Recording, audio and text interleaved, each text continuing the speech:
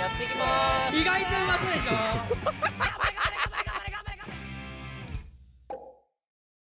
はい、どうもこんにちは、スタミです。1ヶ月前に出した買ってよかったものリスト2020が結構好評だったので、えー今後は1ヶ月おきに買ってよかった、よかったものリストを公開していこうと思います。テーマとしては、引きこもりが使うもの、引きこもりが使えるもの。えっ、と、例えば、他の YouTuber さんの動画だと、1位は、えー、リュックサックですとか、三脚ですとかがたまにあるんですけど、そういうのってちょっと引きこもりの俺たちにはあんまり刺さらないので、まあ、そういうものは避けながら、えっ、と、買いやすい引きこもりライフがはかどるような、えー商品をおすすめしていけたらなって思ってます。はい、というわけで、えー早速一つ目ですね。えー2021年1月買ってよかったものリスト、えー一つ目、ヘッドホンフックですね。1個結構前にね、あのーまたヘッドホンが邪魔だなと思った時に買ったんだよ。このね、止めるところがネジ式のやつを買ったんだけど、ちょっと自由が利かないというか、つける場所が限定されてしまう。だから他の形式を探したんだけど、まあこれにたどり着きました。机の上にヘッドホンフックがあるっていうのを見せたくない人は机の下にも貼れるんだよね。で、壁の横にも貼れますよと。で、そういう面でこれを選んだら大正解でした。あともう一つこれがいいなと思ったところは、このケーブル、俺はちょっと使ってないんだけど、ケーブルを、えー、挟めるところがあるところかな？えっ、ー、とね、パソコンからさ、えっ、と、スマートフォンを充電してる人いるでしょ？で、充電し終わったらさ、ケーブルがダラーンってなってる人いない？で、充電するときも床からこう取ってさ、つける人いるでしょ？俺もそれ族だったんだけど、これがあったらね、多分ケーブルをパチッと止めておけるからすげえ楽。いちいちこの床にダラーンってなってる悪い見た目もないし、すぐここからポッて取れる。っていう利点もあるから、この2つの点でこれを選びました。いつか使うかもしんないしね。この、なんて言うんだろう、ケーブルを使ってない理由っていうのは後でわかります。はい、サクサクいきましょう。2個目は、えーアンカーのワイヤレス充電器ですね。えーっとね、iPhone6 を俺ずーっと使ってて、あのね、ワイヤレス充電器とは無縁だったんだけど、iPhone12 にしたので、今回こっちを買ってみました。でね、感想としては、本当に買ってよかったと思う、これは。えーっと、理由1つ目としては、えーっとね、充電の手間が省けるっていうのはもう当たり前じゃん。置くだけで充電できるから。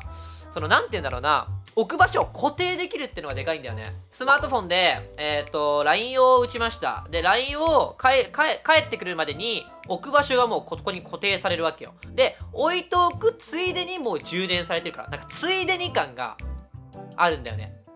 で、あのーメールが来たらまたこれを取って返信をして、また固定の場所に戻して。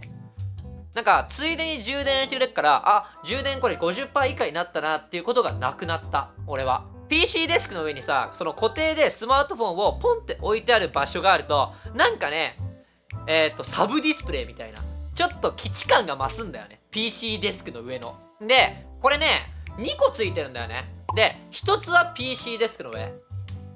1つは、えっ、と、寝室に置いて、寝る前にポッて置いといたら、えっ、と、すごく簡単に、えっ、と、作業なしで、もう1個もなしで充電できるから、すごい楽だと思いました。でもね、この製品に関しては、合わない人もいて、えっ、と、ソシャゲをすごいする人いるでしょ。パソコンの前に座っていても、えっ、と、スマートフォンをずっと触っていますとか、結構触る頻度が高いですよっていう人はケーブルの方がいい。はい、えっ、と、3つ目ですね。小豆の力目元用です。えっ、とね、これ疲れがね、出ると、すごい顔周りに出るのよ。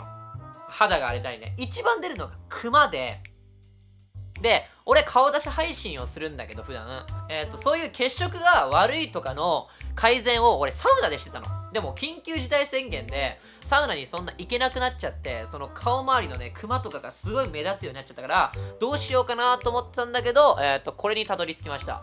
蒸しタオルでもいけんじゃないのっていう意見があったんだけど、蒸しタオルだと冷めんのがすごい早いんだよね。どんどんどんどんここら辺のさ、あのー目に当ててるところはあったかいんだけど、末端っていうのはちょっとわかんないんだけど、ピロピロしてるところがね、どんどんどんどん冷たくなってくるの。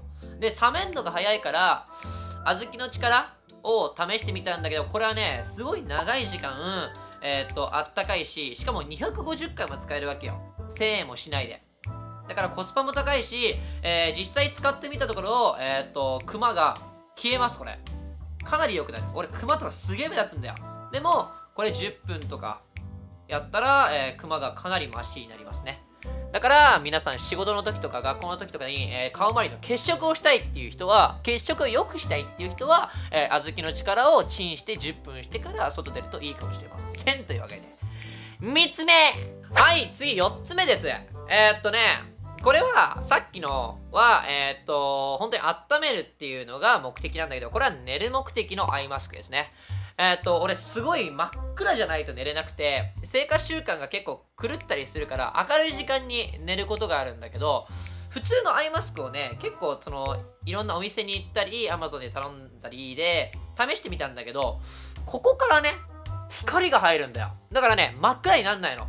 で、たどり着いたのがこれ。このね、鼻のここのところにワイヤーが入ってるんだよ。だから、あの、マスクみたいな感じ。ワイヤーが入ってるから、鼻の形にぴったりあって、ちゃんと光を遮断してくれる。から、これはいいなと思いました。本当に真っ暗になるっていう点で、これがいいかなと。あとは、喋ることは、ありませんはい、5つ目ですね。これはちょっと、ちょっと特殊。配信でも結構突っ込まれたわ。えっ、ー、とね、LED ランタンです。えー、最近、バルミューダからね、えっ、と、LED ランタンが出て、なんかそれおしゃれだからね、買いたいなと思ったんだよ。だけど、値段を見たら1万5000円したの。ちょっと、さすがに1万5000円高えなと思って、いろんなのを探してたら、これにたどり着きました。えっとね、使い方としては、あの、寝る前の、あの、スマートフォンとか、たまに俺最近本とか読むんだよ。家についてる光だと、普通の明かりだと明るすぎて、で、豆電球だと暗すぎるわけ。で、ちょうどいい明かりが欲しいなと思ってて、えー、ランタンを探してたんだけど、これはね、見た目もおしゃれなんだよね、結構。他の LED ランタンって、なんかね、すごい機械チックというか、懐中電灯感が強い商品だったりがあるわけよ。その本当に火を灯すやつとかは結構おしゃれに作られたりするんだけど、LED ランタンでこういう方ってなかなかなくて。で、えっ、ー、と、実物なんだけど、これだね。これ。かわいいでしょ？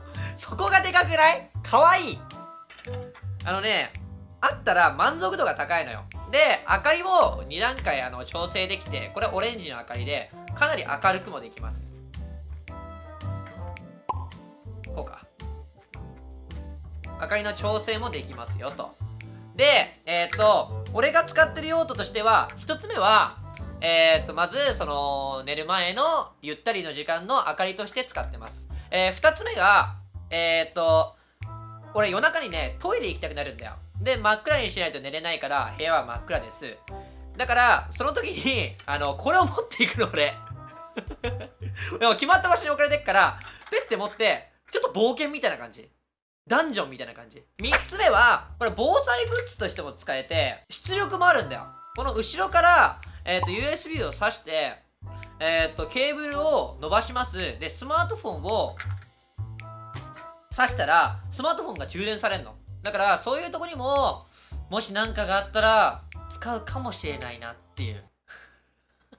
おしゃれに普段使ってて、非常事態にもしこれが使える時は来るかもしれないじゃない。多機能であって損することはないんだよ。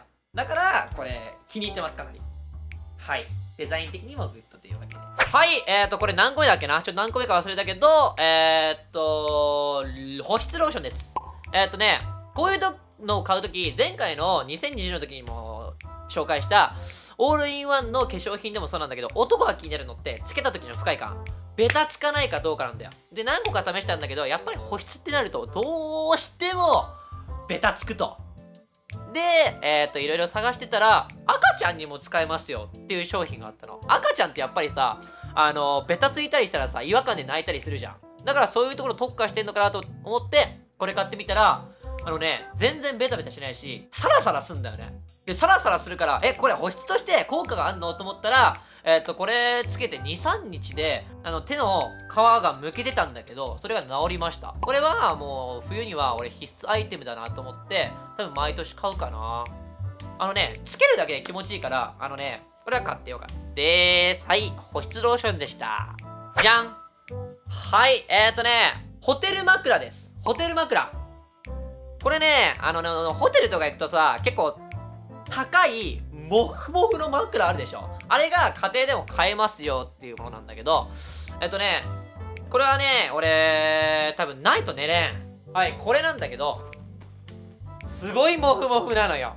すごいモフモフで、まず一つ目としては、えー、枕として使います。はい、枕として使います。ね。で、二つ目が、抱き枕として使えます。はい。で、三つ目が、そのね、なんて言うんだろう。壁にさ、こう、立てかけたら、もうクッションになるのよ。だから、寝る前とかにさ、スマートフォン触りたい時に、寝ながらだと腕が疲れたりするじゃない。だからこう、壁に立てかけてベッドでゆったりする時にも使ってる。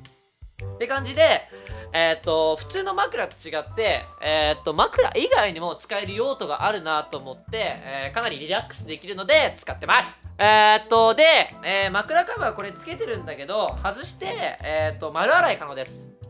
で、長く使えるのに、枕ってさ、5000円とかさ、高いやつだと1万円 ?1 万円どころで済まない。ってイメージだったんだけど、これ2500円。今セール中なんだけど、多分ね、3000円以下ぐらいで買えるので、いろんなのがあるんで、えっ、ー、と、枕だからいろいろ調整されてるものがあります。これ、このメーカーだけでも、えー、低め、普通、高めを選べたりね。